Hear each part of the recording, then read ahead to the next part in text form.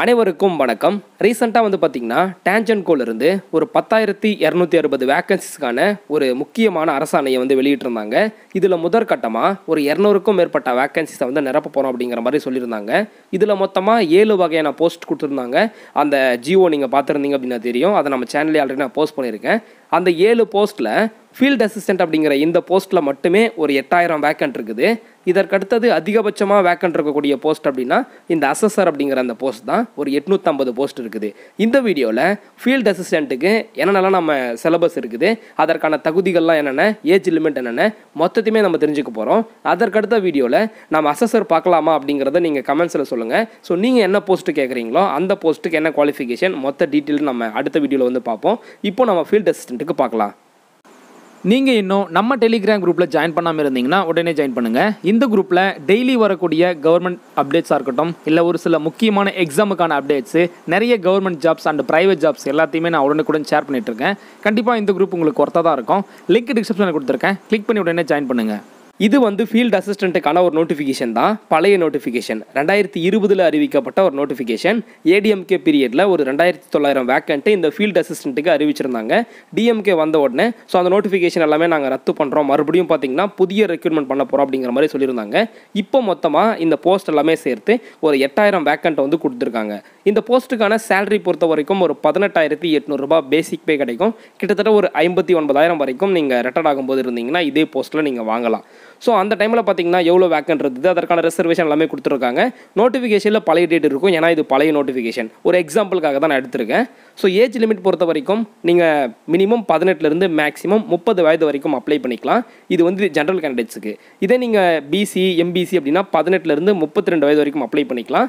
இதே SC SC ST அப்படின்னா பதினெட்டுலேருந்து முப்பத்தைந்து வயது வரைக்கும் அப்ளை பண்ணலாம். இந்த ஏஜ் லிமிட் இப்போ மாறுவதற்கான வாய்ப்புகளும் இருக்குது ஓகேங்களா ஸோ அது நிறைய பேருக்கு தெரியும். ஏன் அப்படின்ட்டு. இதற்கான கல்வி தகுதி பொறுத்த வரைக்கும் ஃபீல்ட் அசிஸ்டண்ட்டுக்கு ஐடி வந்து நீங்கள் முடிச்சிருக்கணுங்க. ஐடியில் பார்த்தீங்கன்னா ஒயர்மேன் எலக்ட்ரீஷியன் எலக்ட்ரிக்கல் இந்த மாதிரி ஒரு ட்ரேட் முடிச்சிருந்தீங்கன்னா நீங்கள் இதற்கு எலிஜிபிள் அதே மாதிரி நீங்கள் அப்ரண்டிஷிப் முடிச்சிருந்தீங்கன்னா உங்களுக்கு ப்ரெஃபரன்ஸ் அந்த மாதிரி கொடுப்பாங்க. அதாவது டேஞ்சன் கோ ரிலேட்டடாக நீங்கள் அப்ரண்டிஷிப் முடிச்சிருந்தீங்கன்னா உங்களுக்கு ப்ரெஃபரன்ஸ் கொடுப்பாங்க. அதே மாதிரி ஏஜ்லேயும் பார்த்தீங்கன்னா நிறைய பெனிஃபிட்ஸ் உங்களுக்கு இருக்குது ஓகேங்களா இதற்கான செலெக்ஷன் ப்ராசஸ் எப்படி இருக்கும் ஃபஸ்ட்டு ஃபஸ்ட் ஒன்று பார்த்திங்க அப்படின்னா உங்களுக்கு ரிட்டர்ன் எக்ஸாமினேஷன் இருக்கும். அதே மாதிரி ஃபிசிக்கல் டெஸ்ட்டும் இருக்கும். ரெண்டுமே வச்சு தான் வந்து செலக்ட் பண்ணுவாங்க. ரிட்டன் டெஸ்ட்டில் பார்த்திங்க அப்படின்னா உங்களுக்கு என்ன பேட்டர்னில் வந்து கொஷின்ஸ் எல்லாம் இருக்கும் அப்படிங்கிறத கீழே கொடுத்துட்ருக்காங்க ஸோ ஓஎம்ஆர் பேஸ்டு எக்ஸாமினேஷன் தான். Part one part two part three அப்படின்னு சொல்லிட்டு மொத்தமாக மூணு டைப்பாக பிரிச்சிருக்காங்க. பார்ட் ஒனில் இருபது கொஷின் பார்ட் டூவில் இருபது கொஷின் பார்ட் த்ரீயில் ஒரு அறுபது கொஷின் இருக்கும். இதெல்லாமே இங்கே டீட்டெயில்டாக கொடுத்துருக்காங்க பாருங்கள் பார்ட் ஒனில் உங்களுக்கு general Tamil and general English இருக்கும். ஏதாவது ஒன்று நீங்கள் சூஸ் பண்ணுற மாதிரி இருக்கும். பார்ட் டூவில் பார்த்தீங்கன்னா ஆப்டிடியூட் அண்ட் மென்டல் எபிலிட்டி இதில் ஒரு இருபது மார்க்ஸ் இருக்கும். பார்ட் த்ரீல பார்த்தீங்கன்னா சப்ஜெக்ட் ஓரியன்டாக இருக்கும். எக்ஸாம்பிள் இப்போ நீங்கள் ஐடிஐயில் வந்து ஒயர்மேன் இந்த மாதிரி ட்ரேட் முடிச்சிருக்கலாம். அந்த ட்ரேட் ரிலேட்டடாக தான் வந்து உங்களுக்கு கொஷின்ஸ் இருக்கும். டியூரேஷன் பார்த்தீங்கன்னா டூ ஹவர்ஸ் ஓகேங்களா மேக்ஸிமம் மார்க் வந்து ஹண்ட்ரட் மார்க்கு ஸோ இப்போ வந்து பார்த்தீங்கன்னா தமிழ் மொழி கட்டாய தகுதி தேர்வு அப்படிங்கிற மாதிரி ஒன்று இருக்குது ஸோ இப்போ டிஎன்பிஎஸ்சி நடத்தினாங்க அப்படின்னா அதையும் வந்து இதில் சேர்க்கறதுக்கான வாய்ப்பு இருக்குது. ஸோ அதற்கான எக்ஸாமினேஷன் நீங்கள் அப்படியே நம்ம தமிழ்நாட்டில் எழுதிக்கலாம். அப்ளிகேஷன் ஃபீஸ் பொறுத்த வரைக்கும் ஏற்கனவே தெரியும். நிறைய பேர் இதற்கு அப்ளை பண்ணியிருந்தீங்க. ஸோ ஆயிரம் ரூபாய் ஐநூறுரூபா இந்த மாதிரி கம்யூனிட்டிக்கு தகுந்த மாதிரி அப்ளிகேஷன் ஃபீஸ் கொடுத்துருந்தாங்க. நீங்கள் ஆன்லைனில் அப்ளை பண்ணிக்கலாம். இதற்கான சிலபஸ் எல்லாமே கொடுத்துட்ருக்காங்க. ஸோ உங்களுக்கு பார்த்தீங்கன்னா டென்த்து ஸ்டாண்டர்ட் லெவலில் தான் இதற்கான கொஷின்ஸ் எல்லாமே இருக்கும். ரொம்ப பெரிய லெவலெல்லாம் டஃப்பாக அந்த மாதிரிலாம் இருக்காது.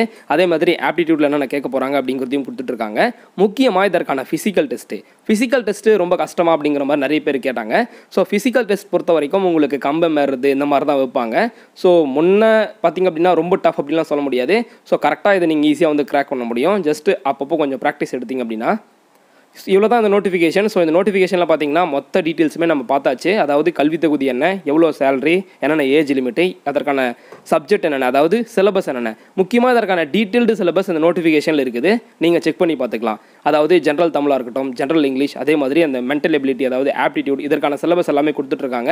இப்போ வந்து புதிய நோட்டிஃபிகேஷன் வரும்போது தான் ஸோ இதற்கான சிலபஸில் ஏதாவது ஆட் பண்ணுறாங்களா ஸோ என்னென்ன மாறுதல்கள் கொண்டு வராங்க? ஸோ நம்ம அதை டீட்டெயிலாக பார்க்க முடியும். இது வந்து பார்த்திங்கன்னா பழைய நோட்டிஃபிகேஷனை வச்சு இப்படி இருக்கிறதுக்கான வாய்ப்பு இருக்குது அப்படிங்கிறது நம்மளுடைய அசம்ஷன் ஸோ கண்டிப்பாக நீங்கள் இந்த எக்ஸாமுக்கு ப்ரிப்பேர் பண்ணிருக்கீங்க அதாவது நீங்கள் ரெண்டாயிரத்தி இருபதுலேயே வந்து அப்ளை பண்ணியிருப்பீங்க ஆனால் இதற்கான எக்ஸாமினேஷன் இன்னமும் நடக்காமல் இருக்குது.